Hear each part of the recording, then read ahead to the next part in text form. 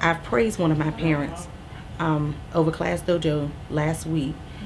Her son was one of the ones that came home. I mean, came from home, and he couldn't write his name at all.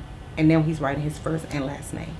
So I sent the mom a message on Class Dojo, and I said, I just want to let you know I'm very proud of not only him but of you, because it starts with you.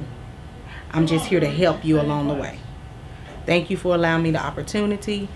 I just want to say thank you for all that you're doing because without you, I couldn't get him to do this. And she literally called me and said, Thank you so much.